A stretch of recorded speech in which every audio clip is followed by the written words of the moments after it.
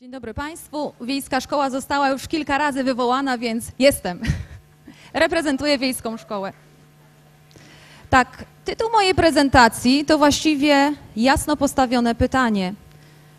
Czego dyrektor może wymagać od swoich nauczycieli? Z akcentem może, czyli ma zielone światło, a czego nie powinien? I tutaj pojawia się ewidentny zakaz. Tak naprawdę mogłabym od razu tej odpowiedzi Państwu udzielić, ponieważ przeprowadziłam ankietę skierowaną do wielu nauczycieli, nie tylko nauczycieli z mojej szkoły i mam mnóstwo odpowiedzi właśnie ze strony nauczycieli, czego może ten dyrektor żądać, a czego nie powinien, ale to będzie na samym końcu. Ponieważ była też mowa, że trzeba zwiększyć nauki przyrodnicze, to ja się wpisuję już jak najbardziej w ten temat. Więc zadam Państwu pytanie. Co mają wspólnego gęsi i szkoła? Wszystkie odpowiedzi są poprawne. Proszę jakieś skojarzenia. Dobrze, gęsie pióro. Odlot.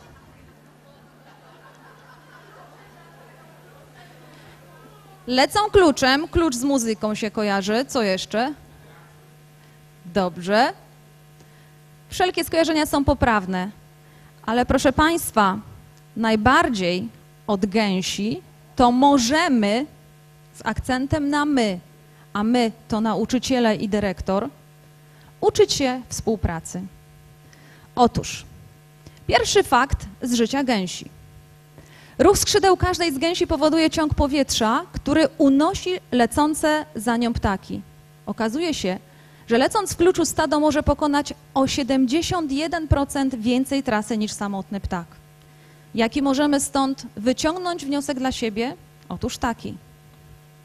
Ludzie, których łączy kierunek działań i poczucie wspólnoty, mogą szybciej i łatwiej osiągnąć cel, bo motywują się wzajemnie.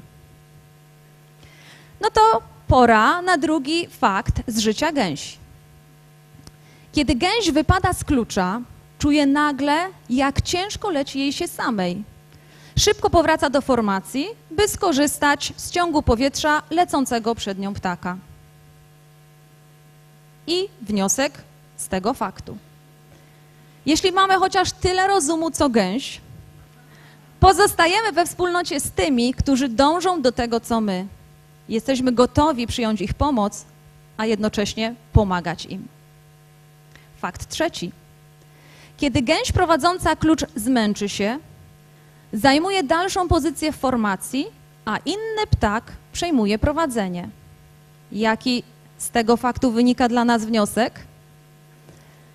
Opłaca się dzielić trudnymi zadaniami i przywództwem. Ludzie, podobnie jak gęsi w kluczu, są zależni od umiejętności i zasobów innych. Fakt czwarty. Gęsi lecące w kluczu gęgają, by wspierać ptaki lecące na przedzie w utrzymywaniu tempa. Co z tego może wynikać? Kiedy pracujemy w grupie, musimy się wspierać i dopingować nawzajem. Grupy, których członkowie tak współpracują, osiągają większe efekty. I ostatni fakt z życia gęsi, być może jeszcze jest więcej, więc te odkrycia już przed nami. Jeśli jakaś gęś zachoruje, zrani się lub zostanie postrzelona, dwa inne ptaki opuszczają formację i lecą za nią, by ją chronić i pomagać jej. I tutaj mamy dwie możliwości. Zostają z nią, no niestety, dopóki nie umrze, lub będzie lecieć w stanie dalej. Wtedy dołączają albo do innego klucza, albo mają na tyle siły, żeby dogonić swoją formację. No i ostatni wniosek z tego faktu. Jeśli mamy tyle rozumu co gęsi, będziemy się, widzę, nieusunięte, wspierać słabszych, nawet kosztem indywidualnych celów, bo przecież ta gęś musiała zrezygnować z obecności w swoim kluczu. Jak się to teraz ma do tego dyrektora i tych nauczycieli w szkole?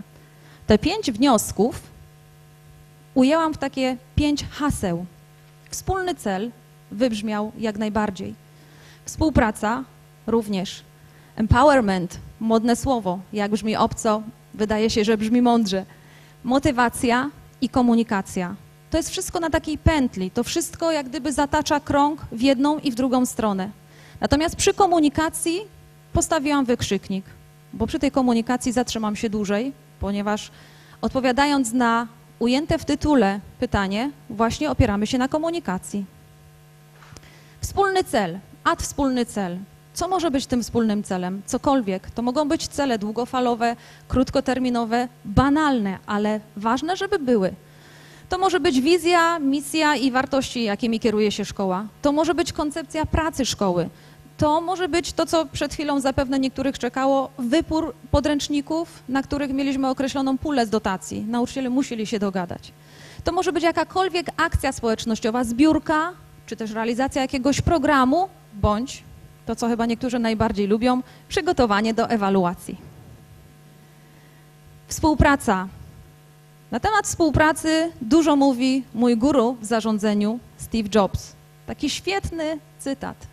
Moim biznesowym wzorcem jest zespół The Beatles. Składa się on z czterech mężczyzn, którzy nieustannie pilnowali siebie nawzajem. Dodatkowo balansowali swoje niedoskonałości, co w efekcie sprawiało, że jako zespół byli świetni, a w pojedynkę artystycznie niewystarczający. To jest właśnie ta moc zespołu. Empowerment. Czemu wielbłąd? Czy ktoś wie? Ponieważ wielbłąd uniesie tyle, ile mu się da, niejednokrotnie. Temu wielbłądowi się na garb jeszcze nakłada kolejny bagaż, ciężar, a wielbłąd idzie i niesie to dalej. Czy czasami tak się nie dzieje w szkołach, że ten jeden nauczyciel, który daje radę unieść bardzo dużo, niesie jeszcze więcej i więcej, bo on to zrobi?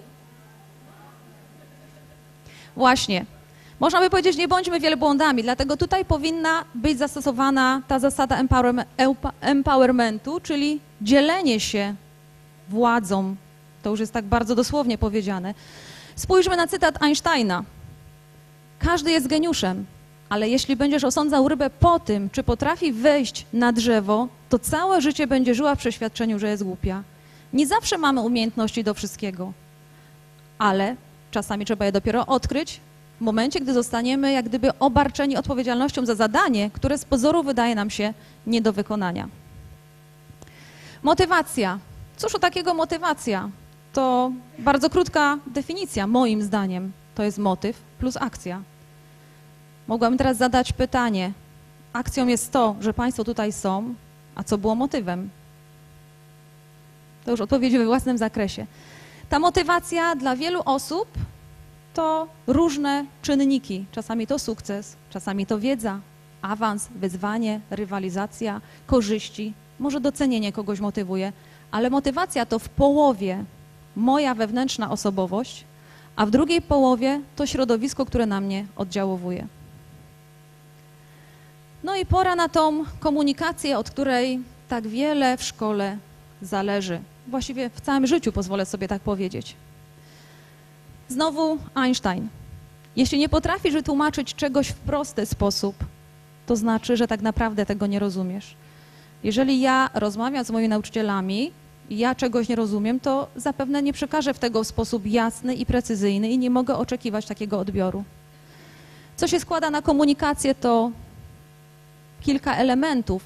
Ona musi być kompletna, przede wszystkim werbalna i niewerbalna. Nie wszystko musi być wypowiedziane. Czasami komunikujemy się postawami. Aktywne słuchanie. Można słuchać, ale można nie usłyszeć. Dobra informacja zwrotna. Teraz w naszej oświacie jest dużo na temat informacji zwrotnej, ale to też przekłada się na taką komunikację codzienną. I asertywność, która czasami jest błędnie pojmowana jako sztuka mówienia nie. W nielicznych przypadkach można z taką definicją się zgodzić. No i teraz ta komunikacja, która jest przyczyną wielu konfliktów. Zbyt groźnie to brzmi, ale tak. Z jednej strony ten nauczyciel ma przed sobą kartę nauczyciela, w szczególności artykuł 6.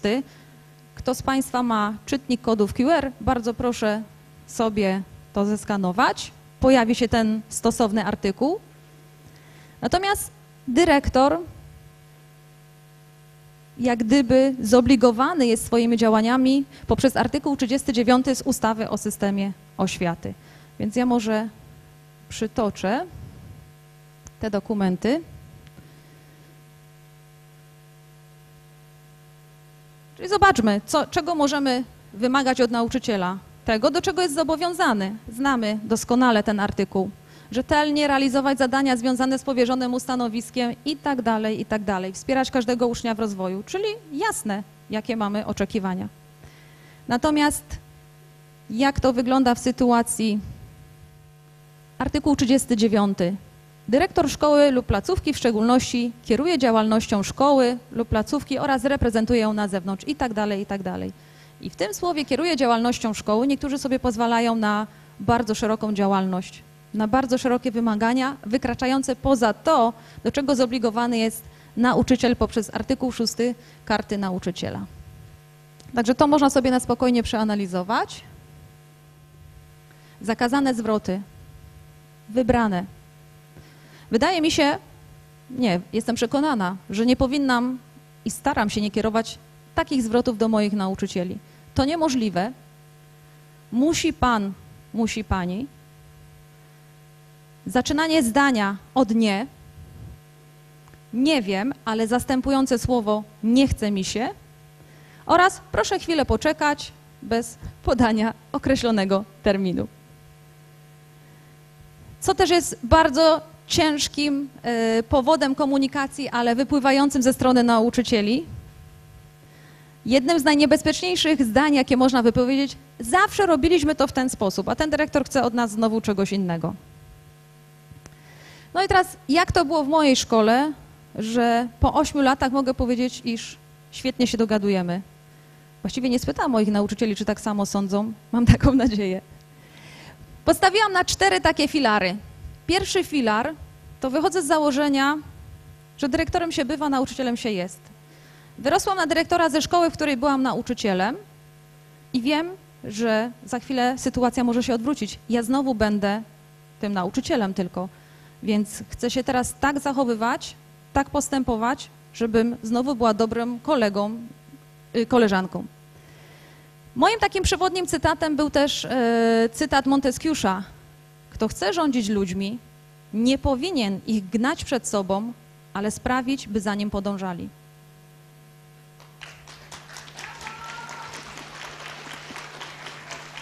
Niestety, dyrektor jest pierwszym nauczycielem w szkole. Nie można wymagać od nauczycieli pewnych postaw, zachowań, jeżeli samemu się takich postaw nie reprezentuje. Nie mogę nakłaniać nauczycieli do wyjazdu na szkolenia, jeżeli ja tego nie praktykuję. To taki banalny przykład, jak rodzice oduczają dzieci picia Coca-Coli, mówiąc, to jest niezdrowe, nie pij, a co sami robią? Piją Coca-Colę. Ja wiem, że wyszło to z farmacji, także powinna być zdrowa. Kolejny filar, żadnych rewolucji. Gdy przygotowałam swoją prezentację do konkursu na dyrektora, to pierwszy slajd był taki, co zrobić, aby to, co dobre w naszej szkole, było jeszcze lepsze jakże wcześniej się wpisałam już w temat inspiracji. Każdy, kto zarządzał szkołą, na pewno miał na celu jej dobro, więc nie mogę przekreślać wszystkiego, co zrobiła moja poprzedniczka, tylko muszę na tym budować, na tym fundamencie. No ale z drugiej strony wiemy wszyscy, jak powiedział Heraklit, że nie ma nic stałego prócz zmiany. Przyjęłam sobie takie słowa klucze, a mianowicie ważne dla mnie będzie, żeby to zarządzanie było skuteczne. Profesjonalizm, etyka, dialog, czyli znowu nawiązuje do tej komunikacji, serce. Ten czynnik ludzki jest bardzo ważny. Czasami nauczyciele myślą, że dyrektor nie ma serca, ale ma. Zaufanie. Wydaje mi się, że więcej można osiągnąć poprzez danie komuś zaufania, niż takie wymaganie określonych rzeczy w terminie bez duszy. No i rozwój. Rozwój to znowu z tym, co powiedział Heraklit, nie ma nic stałego prócz zmiany. Moje dopalacze, no bo skądś trzeba tą energię czerpać. Moje pierwsze dopalacze to ludzie poznani na studiach podyplomowych liderów oświaty. Mój drugi dopalacz, kolejność tutaj nie ma znaczenia, to ludzie, których znam z Ogólnopolskiego Stowarzyszenia Kadry Kierowniczej Oświaty. I mój trzeci dopalacz, podkreślam, kolejność nie ma znaczenia. To ludzie, których znam z grupy superber3.pl. Brawa dla nich.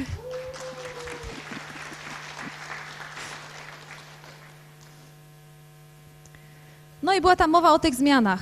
Wiadomo, że wszelkie zmiany w szkole, nawet jak są one natury organizacyjnej, to wiążą się ze zmianami mentalnymi. Nawet jak chcieliśmy wprowadzić dziennik elektroniczny, który już mamy od 6 lat, więc jako wiejska szkoła to naprawdę byliśmy pionierami w tej dziedzinie, to trzeba było rzeczywiście popracować nad zmianą mentalną. Ale wystarczy pamiętać o tym, że wyzwanie, które nie wymaga pracy, raczej nie przenosi rezultatów. Zdaję sobie sprawę, że teraz moda jest na łatwe i przyjemne w odbiorze bez wysiłku jakiegokolwiek, ale tak jak cytat mówi, chcemy rezultaty, musimy popracować. No i tu taki zapewne już znany Państwu obrazek, jak przebiega zmiana. No nie jest wesoło nigdy na początku. Jest zawsze faza oporu, a po co, a na co nam to, a musimy, a przecież tak było dobrze, a kiedyś robiliśmy to tak, tak jak ten wcześniejszy cytat. Zanim dojdziemy do procesu to działa, to dużo czasu może upłynąć. Ja się przyznam, że gdy objęłam to stanowisko, to też wydawało mi się, że zmiany to będzie coś takiego i się dzieje. Przygotowując się do drugiego konkursu po pierwszej kadencji, dopiero sobie uświadomiłam, jak to wszystko wymaga czasu. Czasu, cierpliwości i tak jak mówimy w ocenianiu kształtującym, powoli, podlewania, tak naprawdę to się dzieje, ale się dzieje i to jest najważniejsze. No i ta motywacja, ta motywacja, która przebiega wokół takiego procesu, który jest bardzo ściśle związany z tym projektem zmiany. Czyli zazwyczaj jest nie chcę. Jak przejdziemy już do etapu nie mogę, no to już się z tego efektu cieszymy. Potem jest nie wiem. Gdybym mógł, mogła i zaczynamy szukać jakieś powody, przeszkody, żeby tego nie robić. Myślę, że mogłabym, czyli już ewentualnie poddajemy e, rozwadze jakieś działanie, dokonujemy tej próby, zrobię to i w końcu zrobiłam. Proces jest bardzo długi, ale im więcej sukcesów, tym bardziej się chce w nowy taki proces wchodzić. Po ośmiu latach ten chaos jest celowy. Ten chaos to są namiastki programów, projektów, w których jako szkoła uczestniczymy. Brawo, mimo że niezdrowa. Mnóstwo, nie wiem od czego zacząć, y, te powszechne typu owoce w szkole, szklanka mleka, ale jest mnóstwo działań, które nauczyciele wykonują nie tylko w obrębie zajęć lekcyjnych. Spotykają się z uczniami, zachęcają i to, co jest ważne, angażują uczniów, którzy niekoniecznie zaistnieją na takim poziomie intelektualnym, czyli jakaś magiczna średnia, ale odkrywają swoje talenty i to jest naprawdę cenne. I ja mówię, robiąc taki rzut oka wstecz, a tym rzutem oka wstecz było przygotowanie się do ewaluacji zewnętrznej, którą my jako szkoła wspominamy jako naprawdę świetny moment zatrzymania się i spojrzenia na to, co się dzieje. I mogę teraz powiedzieć nieskromnie, że dzieje się bardzo dużo. I jesteśmy już na takim etapie, że to, co robimy, to wydaje nam się standardem, który funkcjonuje w każdej szkole. Dopiero zderzenie z innymi osobami pokazuje, że jednak dzieje się bardzo dużo. Nie poprzestajemy, dalej nam się chce. Już są nowe projekty, które ruszą od września. A mianowicie udało nam się dostać dofinansowanie na dwuletni projekt Wiedza plus zabawa równa się rozwój za milion dwieście. Będziemy uczestniczyli w projekcie Stworzenie z wyobraźni, którego koordynatorką jest osoba siedząca na sali. Będzie to projekt oparty na pisaniu historii, mogę tak powiedzieć. Nie wiem, czy Państwo znają kostki Story Cubes. Przy okazji pochwalę się, dziewczyna z naszej szkoły miała pierwsze miejsce w kategorii klas trzeciej gimnazjum. E, właśnie otwierając pocztę 24 czerwca, właściwie nie wiem po co o godzinie 17, to już chyba bardziej taki odruch, nawyk, odkrywam taką miłą wiadomość, że udało nam się dostać dofinansowanie z projektu M-Banku. Będziemy projektowali gry planszowe, będziemy organizowali właśnie też takie spotkania z rodzicami, noc gier planszowych. Jeszcze dzisiaj muszę zgłosić się na platformie e, kuratoryjnej pilotażowe wdrażanie programowania bo już się nauczyciele znaleźli chętni, podjęliśmy uchwałę na spotkaniu integracyjnym 24 czerwca o godzinie 19. Myśleli, że to jest moja y, część wystąpienia kabaretowego, ale naprawdę ta uchwała to było coś bardzo poważnego. Podejmiemy współpracę z gimnazjum w Pielgrzymowicach, które będzie reprezentowała za chwilę pani Marta, wystąpi tutaj. No i jeszcze inne. Te inne to mega misja i te inne to być może kontynuacja tego, co się dzieje, szkoła z klasą, młody obywatel i tak dalej, i tak dalej. Ja jak sobie wstawiałam te zdjęcia po lewej, to myślę, że patrząc na to, co było mówione na konferencji EduSpaces, to po części w tej wiejskiej szkole już idziemy naprzeciw. Uczniowie z nauczycielami wymalowali ścianę, która prowadzi do świetlicy.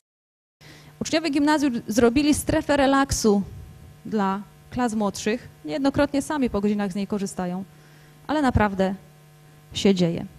No i teraz bonus, gratis, załącznik, jak Państwo nazwą to, to już zupełnie obojętne, wisienka na torcie.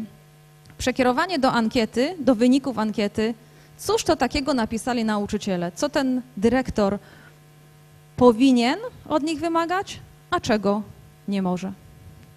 A ja sobie pozwolę na koniec jeszcze powiedzieć, ponieważ w pytaniu było, co może, czego nie powinien, ja sobie dołożę, a co powinien?